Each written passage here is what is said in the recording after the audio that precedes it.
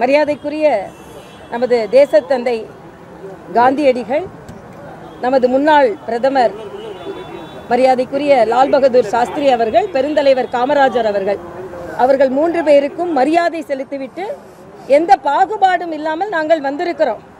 இன்னைக்கு ஒரு மது ஒழிப்பு மாநாடு அப்படின்னு ஒரு மாநாடை போட்டிருக்காங்க. அது நான் ஏற்கனவே சொன்னேன் சிறுத்தையே ஆரம்பித்து சிரித்து போய் கொண்டிருந்தது என்று. மாநாடும் அப்படிதான்.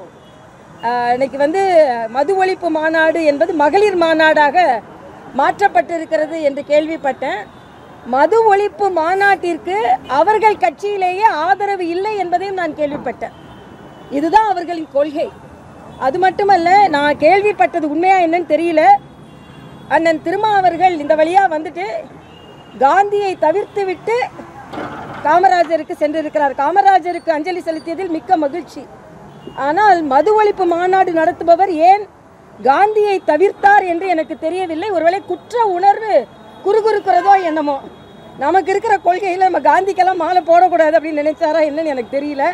அதனால் அது ஏன் அந்த வேறுபாடை காண்பிக்கிறார்கள்? ஏனென்றால் உண்மையிலேயே மது ஒழிப்பு என்றால் அது மகாத்மா காந்தி அவர்களின் கொள்கை. அதை அவர்கள் நடைமுறைப்படுத்த முடியவில்லை என்பதற்காக தோல்வி ஒப்புக்கொள்கிறார்களா என்று எனக்கு தெரியவில்லை.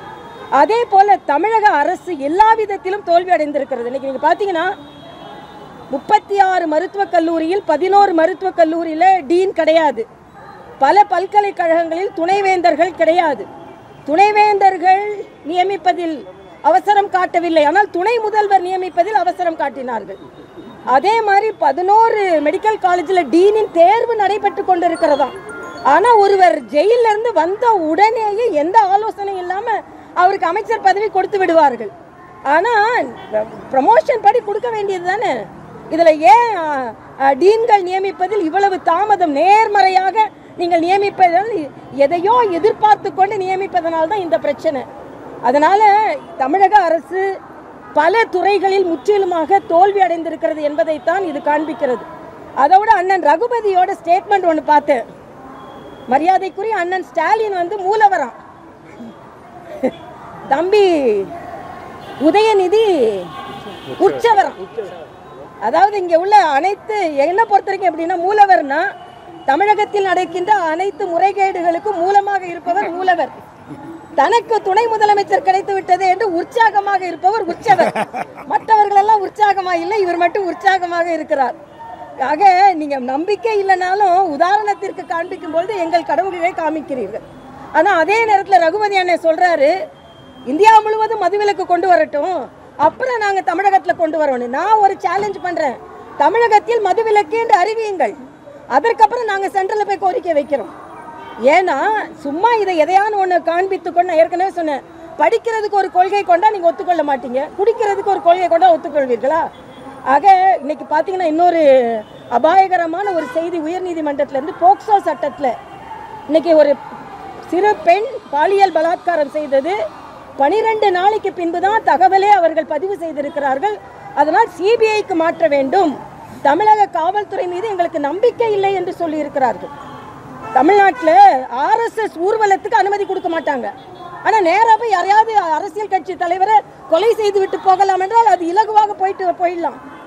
ஆக ஆர்எஸ்எஸ் ஊர்வலத்துக்கு தடை செய்து உயர்நீதிமன்றத்தில் இருந்து அனுமதி வாங்க வேண்டிய சூழ்நிலை தமிழகத்தில் இருக்கிறது. ஆக யார் நல்லவர்கள் யார் எதிரானவர்கள் என்பதை வரையறுத்து பார்க்க முடியாத அளவிற்கு கூட தமிழக அரசு இருக்கிறது என்பதுதான் எனது கருத்து.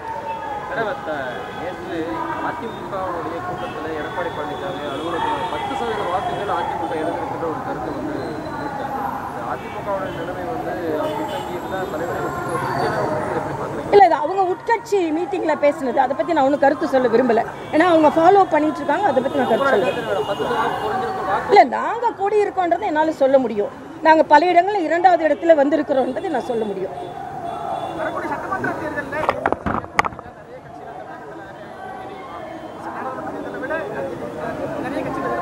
நிச்சயமா. நிறைய கட்சிகள் எதிர்பார்க்கலாம் பலமான கூட்டணி எதிர்பார்க்கலாம்.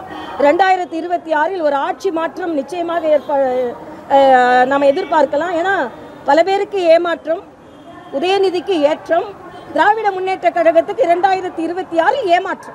அதான் நடக்கும் பாஜகவிற்கு ஏற்றம். பாதகம் செய்பவரை கண்டால் நாம் பயங்கொள்ளலாகாது பாப்பா. மோதி மிதித்து விடு பாப்பா. அவர் முகத்தில் உமிழ்ந்து விடு பாப்பா.